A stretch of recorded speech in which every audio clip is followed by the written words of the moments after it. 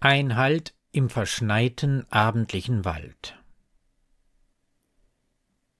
Ich weiß, wem dieser Wald gehört, im Dorf sein Haus, ich kenn es auch.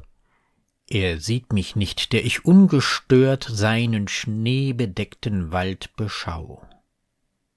Verwirrt ist ganz mein kleines Pferd, kein Hof, und hier wird Halt gemacht?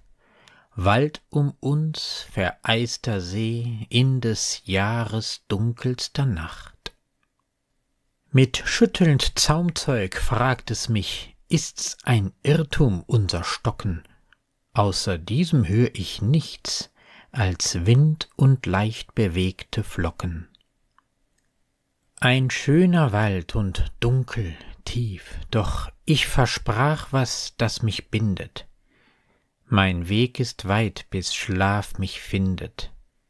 Meilen noch, dann schlaf ich tief.